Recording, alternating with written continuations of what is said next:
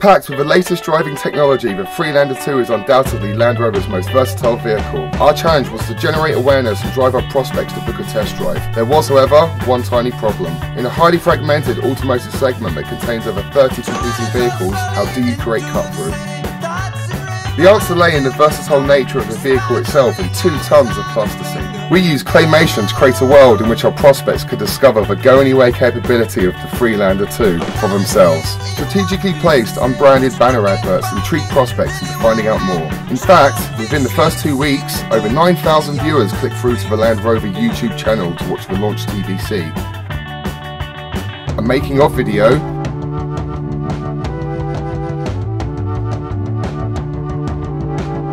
an interview with a star of the TVC, Clay Mason. With the awareness phase of the campaign off to a successful start, we recently launched our second phase, an addictive driving game that gives prospects the chance to take a Freelander 2 for a virtual test drive.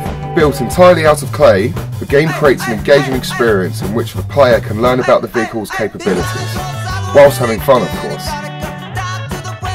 On crossing the finish line, our players are gently nudged into experiencing the all-round versatility of the Freelander 2 for real by booking a test drive. 11 million views, 9,000 click-throughs to the YouTube channel, and in only two days, 51 acquisitions.